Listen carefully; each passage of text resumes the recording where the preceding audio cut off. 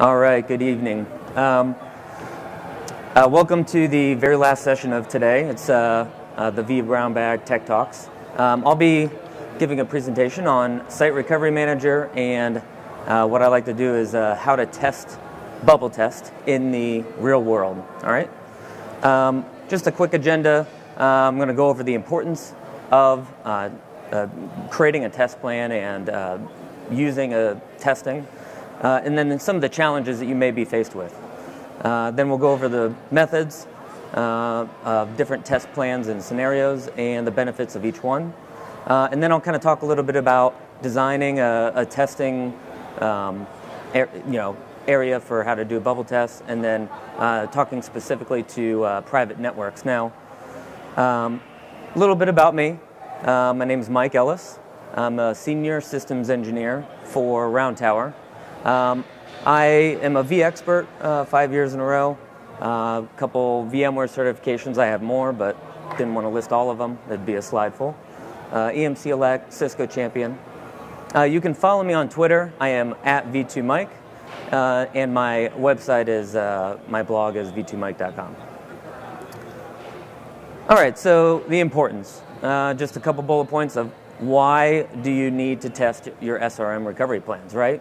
So a lot of the biggest reasons are audit, right? So you have compliance, audit concerns, uh, reasons to you know take a snapshot or a screenshot of, of a failed over environment um, so that you can prove to uh, compliance um, people that you know it, it, did actually work, right? Uh, investment, right? We make this huge investment in being able to replicate and automate our failover, but now you actually want to show that that investment you know, went somewhere, that it actually did something. Uh, and then availability, right? So, I mean, we test because we want to make sure that uh, our applications are going to be available. So you want to make sure that they actually do work. And this isn't a, uh, you know, fancy, crazy wrap thing, right? But you want to make sure that it works. Like, that's the most important reason why you test. Um, and you don't want to lose your job or bring your applications down. So there's a resume generating event. All right, so uh, the challenge, right? So this may be where you are today, right? So you have Site Recovery Manager installed. Um, I'm not going to go into 101 type things, but um, you have Site Recovery Manager installed. You have some sort of replication, whether it's array-based or vSphere replication. Um, and then you have a recovery network um, available, whether it's uh, configured by your network admins or whether you uh, kind of just have that already set up and mapped. Um, and you have a test plan, right? So you know what applications you want to test, you know how you're going to test them, you actually have a, a plan to do all of that, right? Uh, and you know which applications you're going to uh, be testing, whether they're you know all your production app, apps or just a single SharePoint website or whatever that may be. Um, and again, the challenge may be that um, a, a, lot of times in some of the customers that I've worked with, right, uh, availability of your applications is 24-7, 365. So I've done um, uh, for a customer that uh, had to, uh, you know, they were uh, they ran gas stations, right? So, uh, and it was their payment credit card industry um, system. So they couldn't actually, um, being a gas station that never closed, right? So they had to make sure that they were always available and they couldn't test their recovery plan or in a live failover mode. So what we needed to do was uh, make that uh, test as close to a production failover as possible. Um, and the worst thing is when you do run a bubble test and you still can't get your critical application to work, right? So you get this big error message. Uh, methods, right? So this is a, a little bit of SRM Basics 101, right? So you have test mode. And in test mode, uh, that's specifically where you configure your recovery network. Okay, so um, you know we'll talk a little bit more about the, uh, the test modes, but uh, then you also have your failover and failback, right? Now you can do a plan migration, uh, which most times I use a plan migration because um, I want to make sure that I can roll back if, it, if certain parts fail. Um, and then there's a disaster recovery mode, which is my data center is offline and I need to force the recovery even if it uh, doesn't work. Um, the different test modes of Site Recovery Manager, right? So um, I usually like to uh, talk about these three, right? So you have auto isolated, which is the default um, test mode, or sorry, the recovery mode, or recovery network in SRM. Um, and then what I like to call a private VLAN test mode. Now, um, I'll talk a little bit more about what that looks like. Uh, it's not necessarily PVLANs in, in some aspects, but it's a, an isolated private network using VLANs. Um, and then uh, the last one is a live failover. Now, some people may argue, well, that's you know a planned migration or a, or a failover, right? But in a lot of aspects, that's how you test your disaster recovery. So if you have a weekend, right, where you have uh, no business operations running, schedule a maintenance window, and you actually take down those production servers uh, and test them in a failover and failback mode. All right, now uh, I'm going to go over the benefits of each one of these, right? So the first one is uh, the auto isolated mode. Now this is the SRM default, okay? And there are some benefits to it, right? So replication, you're testing to make sure that replication is working, and uh, that there's no issues with permissions or you know whatever. For example, RecoverPoint, you want to make sure that you have that group policy set to use SRM. Uh, the other thing that auto isolated tests is the OS consistency, right? So you want to make sure that as you have a hard shutdown, that your OS is replicated properly and it can power on. Uh, another side note here, um, I've seen where uh, Windows updates um, are pending on a server and pulling the plug on it actually causes the server to not boot up the next time. So this is a, a great example of why you would do a bubble test. Um, single instant apps, right? So you can test an app that doesn't rely on anything else externally, okay? Um, a lot of people kind of, you can go into um, you know, putting a couple VMs on the same host because there's no uplink, right? But you know, that's not necessarily, you can't rely on putting all your VMs in one host and making that work. But you can test a couple single instance applications. Um, you can also test some scripts, right? So um, if you have some sort of a IIS web server and you want to do some uh, changes to the host header in, in the application and make sure that it's working and that it comes up and it's uh, responding and working off of that new IP address if you were to change the IP. What it doesn't test, right? So you can't test AD and DNS, right? Because that those services are outside of your network or outside of that auto isolated network. You can't do complex multi-instance, multi, you know, um, networked applications, right? So if you have a SharePoint site that relies on AD and DNS, and it relies on a database server, web server, app server uh, that are in different networks. You won't be able to reach those networks. Okay. Uh, load balancers, we don't typically see that tested in auto isolated mode. Uh, SRM itself, right? Uh, when I say SRM, there are a couple components around that. We'll get into that. Uh, and firewall, right? So you can't go through your firewall, you can't get out from your firewall. So these are things that are kind of limited by an auto isolated test mode. Now, private VLAN, uh, same thing. You can test the same uh, you know, replication, OS consistency, right? Um, but you can test AD and DNS, and I'm going to show you how and, and, and how you do that, right?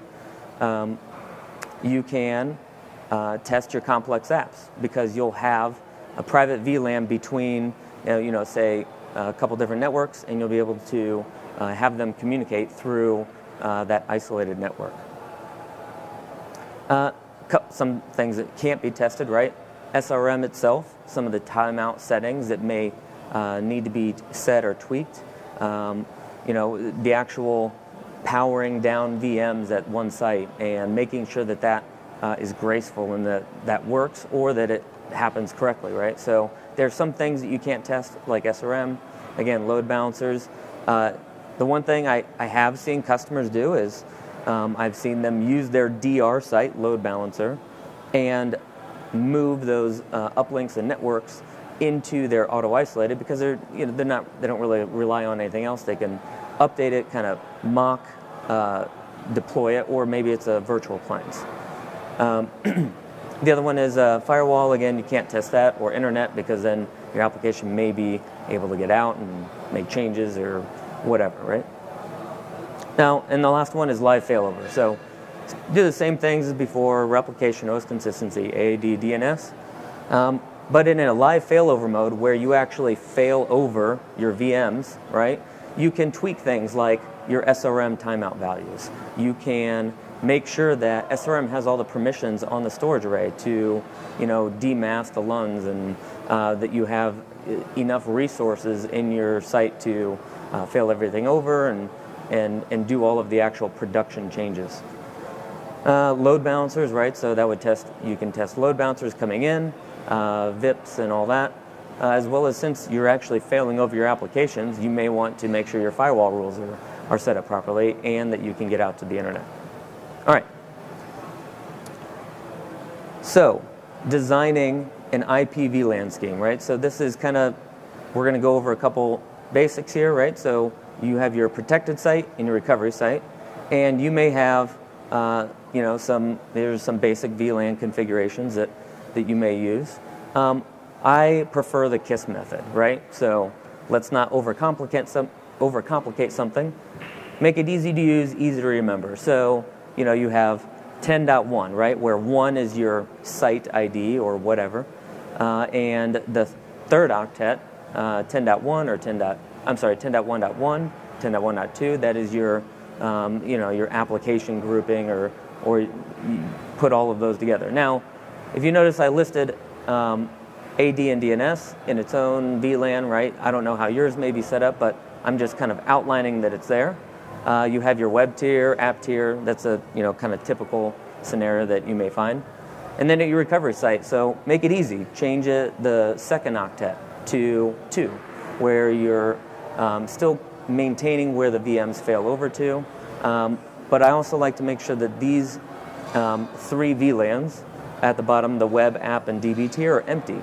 Uh, you don't want a VM that lives um, over at one site to fail over on top of another VM at your other site. So I usually like to make sure that those um, those VLANs match up and that they um, are the same size and, and they have the same uh, characteristics and all that. What you should not do is uh, fail over your AD and DNS server, okay? Let Microsoft Active Directory, let DNS uh, be resilient and have that at both sites, right? So you don't want your app uh, to be uh, pointing to the same DNS server that's at your uh, failed over site. You know, that's why you have a primary and secondary. You know, you, you may want to use one uh, IP address at your primary site, and then your secondary is uh, the DNS server for your secondary DR site. All right? Um, for the private VLAN, okay? Now, real quick, so for the SRM, you have uh, your recovery site and you have a live failover. So you'll have your 10.2.1 uh, and all that, and that's where your VMs are going to move into. And with SRM, again, one of the limitations is you can't change the IP address uh, mapping or uh, the way it customizes itself. So you can't create a you know 10.3 address uh, to where your VMs fail over to. So uh, that's why your your actual you know gateways and your IP addresses have to overlap. Um, what that means is you need to change your uh, VLAN IDs. So uh, in my example, you're using uh, the 2000 range for all of your live failover um, IPs, right? So that's where everything would fail over to in an actual failover mode. Uh, but in a private VLAN, uh, they still fail over with the same IP addresses because you can't customize that. But the port group that you assign them to is in a 3000 VLAN where there's no gateway that goes outside to the internet. Um, you're able to route in between the 3001, 3002, 3003, uh, but you have that copy there that you can have. Um, so what works in this situation, right? So NSX, how you create a private VLAN is up, is up to you, right? Um, IP address changes is, uh, is complex, right? You have to update DNS. NSX uh, does have uh, the ability to fail over uh, and keep the same IP addresses, right? So that's something new. But if you don't have NSX installed and you don't have a license for it, it's an additional license, an additional cost, and uh, it may be something that you're just not ready for yet. Uh, VRF context, right? So this is the primary way that most companies set up a, a different routing method. Uh, the only problem with VRF is, um, for example, in Cisco switches, you have to have the IP services uh, license enabled.